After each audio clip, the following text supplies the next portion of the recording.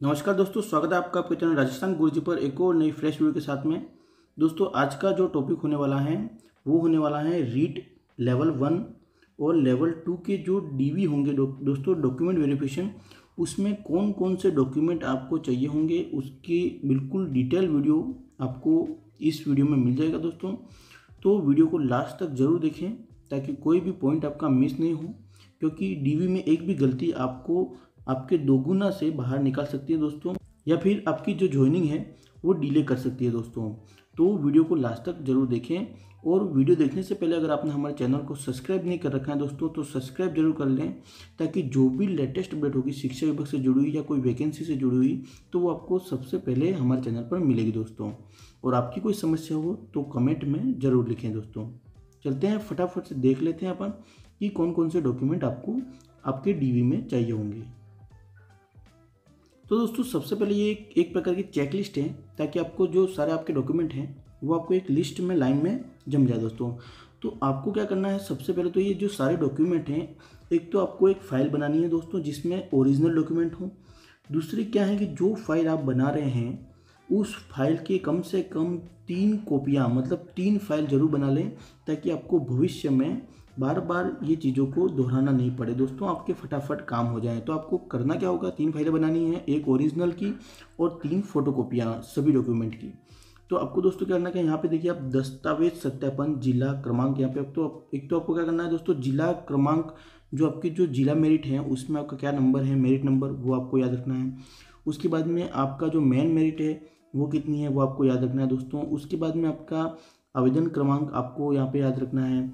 इसके बाद में सबसे पहले आपका जो यहाँ पे आता है दोस्तों डॉक्यूमेंट में, यहाँ पे आपके जो ऑनलाइन आवेदन की प्रति थी, वो आपको जो फॉर्म आपने भरा था, उसकी जो फोटोकॉपी थी दोस्तों, वो आपको इधर ऐड करनी है। दूसरा जो है वो आधार कार्ड की प्रति दोस्तों। आधार कार्ड की जो फोटोकॉपी है, वो आपको यहाँ पे लगानी है। आपको दोस्तों सारे जो डॉक्यूमेंट हैं, वो मैंने बता दिया, वैसे ही करना है, आपको फ़ाइल बनानी है। दूसरा क्या है दोस्तों, यहाँ पे एक तो आपकी ये जो जितने डॉक्यूमेंट बता रहा हूँ दोस्तों, वो लेवल वन और लेवल टू दोनों में सेम ही होंगे। बस उनकी जो डिग्री है, वो बदल जाएगी। बाकी डॉक्यूमेंट सबके सेम ही होते हैं।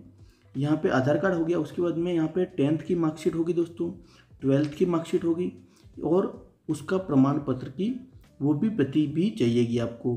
दूसरा क्या है दोस्तों, यहाँ पे स्नातक अगर आपने B A B S C की हो दोस्तों तो आपको यहाँ पे उसकी जो अंक तालिका है first year second year third year और उसकी डिग्री चारों चाहिए दोस्तों।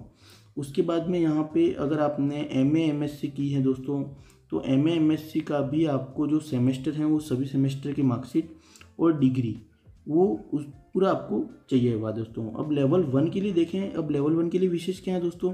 तो लेवल वन के लिए यहाँ तो आपको दो वर्षीय जो डिप्लोमा होता है दोस्तों, उसकी जो जैसे कि सी की तो एस टी सी की मार्कशीट और डिग्री मार्कशीट और डिग्री दोनों चाहिए दोस्तों यहाँ पे। और दूसरा, चार वर्षीय अगर आपने बी किया है तो उसकी मार्कशीट और डिग्री चाहिएगी दोस्तों यहाँ पे लेवल वन के लिए। बाकी ये विशेष शिक्षा के लिए अगर आपने कोई द्विवर्षीय डिप्लोमा की अंक तालिका भी चाहिएगी, अगर आपने विशेष शिक्षा में अगर किए हो तो। बाकी दोस्तों, यहाँ पे अगला डॉक्यूमेंट हम देखते हैं। यहाँ पे तो परीक्षा के प्रमाण पत्र की प्रति, यानी रीड की जो परीक्षा हुई थी 2021 में, उसकी प्रमाण पत्र की आपको प्रति यहाँ पे लगानी है। इसके बाद में आपका जो मूल निवास है, मूल निवास की भी फोटोकॉपी यहाँ पे चाहिए होगी। मूल निवास में अगर आप टीएसपी एरिया से आते हैं तो आपका जो विशेष मूल निवास बना है दोस्तों, उसकी आपको यहाँ पे फोटोकॉपी लगानी है। एक तो पूरी ओरिजिनल की फ़ाइल बनानी है दोस्तों, ये जितने भी मैं बता रहा हूँ, और बाकी तीन जो है वो फोटोकॉपी वाली फ़ाइल। दूसरी यहाँ पे आते हैं दोस्तों, अनुसूचित क्षेत्र में जो ये टीएसपी वाला मैंने बताया, वही कि टीएसपी के लिए जो नवीनतम विशेष मूल निवास यहाँ पे नया वाला चाहिएगा दोस्तों। अगर आपने नहीं बनाया है तो बनवा लीजिएगा फटाफट से।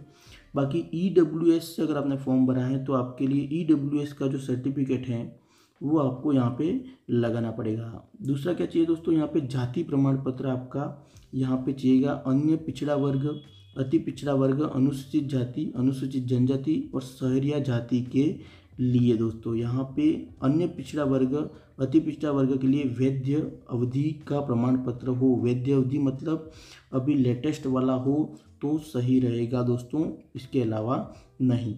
आगे चलते हैं यहाँ पे। आरक्षित वर्ग के सभी अभ्यर्थियों, महिला तथा पुरुष से इस आशय की स्वघोषणा कि वह स्वयं तथा उनके पूर्वज राजस्थान के मूल निवासी हैं। दोस्तों, एक घोषणा पत्र आपको यहाँ पे देना पड़ेगा कि हम जो हैं, वो राजस्थान के मूल निवासी हैं और हमारे पूर्वज भी राजस्थान के मूल निवासी हैं। अगर विधवा हैं, विधवा कैटेगरी में फॉर्म भरा है तो विधवा का जो है यहाँ पे पति से लिंक दस्तावेज़ साक्ष्य के प्रति पुनर्विवाह नहीं करने संबंधित स्वघोषणा भी आपको यहाँ पे देनी पड़ेगी दोस्तों। विवाह विच्छेदन अगर तलाकशुदा हैं तो तलाकशुदा में भी पुनर्विवाह नहीं करने की संबंधित स्वघोषणा युक्त आपको यहाँ पे परिपत्र देना पड़ेगा दोस्तों। इसके बाद में आपको संतान संबंधित स्वघोषणा यहाँ पे देनी है कि संतान दो से अधिक नहीं होगी दोस्तों। ये आपको एक पचास या सौ रुपये की नोटरी, आप जैसे ही जाएँगे स्टाम्प वाले पे वहाँ पे तो भैया को बोलेंगे, मेरे को ज्वाइनिंग वाला जो है स्वघोषणा पत्र बनाना है तो वो बना के दे देगा आपको। बाकी विवाह होने पर, दहेज नहीं लेने पर एक संबंधित स्व घोषणा आपको बनानी है। उसके बाद में दोस्तों, भूतपूर्व अगर सैनिक हैं तो उसका अनापत्ति प्रमाण पत्र चाहिएगा आपको।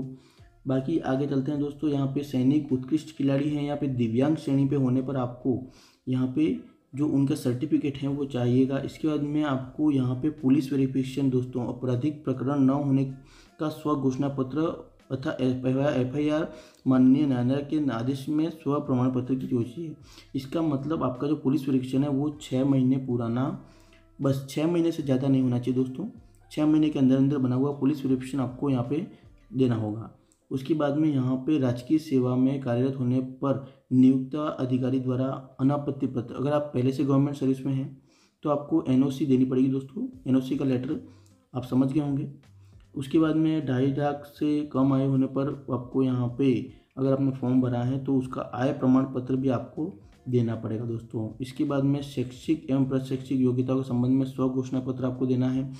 सभी जो मार्कशीट आप फ़ोटो कॉपी कर रहे हैं, उसके नीचे आपको सेल्फ अटेस्टेड यहाँ पे ऐसे करके यहाँ पे दोस्तों साइन करने हैं दोस्तों। साइन हर फ़ोटो कॉपी के नीचे आपके होने चाहिए। दोस्तों, इसके बाद में अभ्यर्थी के अंतिम शिक्षण संस्थान द्वारा प्रदत्त चरित्र प्रमाण पत्र। अब यहाँ पे अगर आपने बीएड लास्ट की है या फिर बीएससी लास्ट की है बीएससी तो की नहीं होगी क्योंकि बीएड पहले नहीं होती है। तो अगर बीएड की है या फिर एसटीसी की है या जो भी लास्ट आपने एमएससी की है तो उसका लास्ट में आपको दोस्तों सीसी कैरेक्टर सर्टिफिकेट आपको यहाँ पे चाहिए होगा। उसके बाद में निर्धारित आवेदन शुल्क जमा नहीं करने की स्थिति में अंतर्राष्ट्रीय का ये तो ठीक है पोस्टल ऑर्डर अगर आपने नहीं कराया होगा तो। बाकी दो गजेटेड ऑफिसर से आपको सीसी चरित्र प्रमाण पत्र वो भी दोस्तों आपको बनाना है। उसके बाद में आपका जो हेल्थ हेल्थ सर्टिफिकेट दोस्तों, एक आपको ये भी बनाना पड़ेगा। इसमें नहीं है, लेकिन मैं आपको बता दे रहा हूँ कि हेल्थ सर्टिफिकेट भी आपको बनाना है पुलिस वेरिफिकेशन वाला भी बनाना है। उसके बाद में दो गजेटेड ऑफिसर के सीसी चरित्र प्रमाण पत्र पर भी साइन करवाने हैं दोस्तों। ये ले करके ज़रूर जाइएगा। उसके बाद में सबसे इम्पोर्टेंट आपके फ़ोटो तो कम से कम पचास फ़ोटो आप निकाल के ज़रूर रखें ताकि कभी भी कोई भी इमरजेंसी पड़े। तो आपको फटाफट से फ़ोटो मिल जाए दोस्तों। बाकी ये थी अभी तक की इसमें कोई दोस्तों आपको कोई डाउट हो तो कमेंट सेक्शन में ज़रूर लिखें कि क्या कुछ बाकी रह गया हो। तो मैं थोड़ी क्षमा चाहता हूँ कमेंट में लिख दूँगा अगर कुछ बाकी रह गया हो। और दोस्तों, ऐसी अपडेट हम लाएँगे। आगे भी जो भी रीट की कोई भी समस्या हो उसके ऊपर तो चैनल को सब्सक्राइब ज़रूर कर लें। और अपने जितने भी साथी हैं दोस्तों, जो रीट की परीक्षा में पास हुए हैं, जिनका डीवी है दोस्तों उन तक यह वीडियो ज़रूर शेयर करें। मिलते हैं इस अपडेट के साथ में, तब तक के लिए दोस्तों जय हिंद, जय भारत।